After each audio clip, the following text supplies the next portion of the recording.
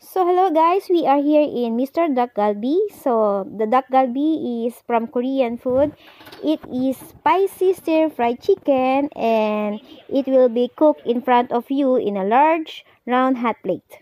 So the chicken they cut into dice and it will it's already marinated in uh, Korean sauce. So it also served with fresh leaves like perilla, cabbage, scallions, sweet potatoes and uh, rice cakes.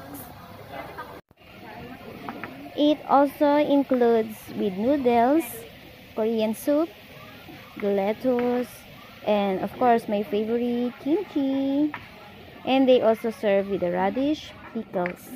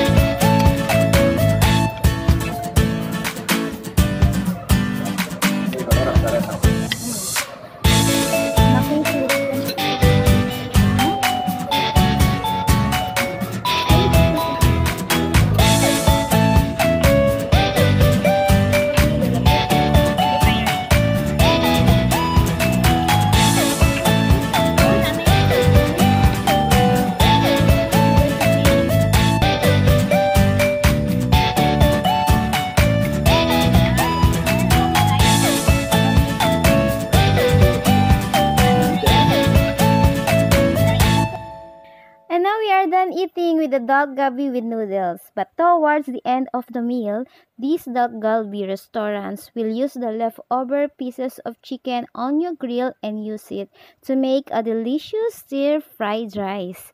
And I think it's a hands down the best fried rice ever.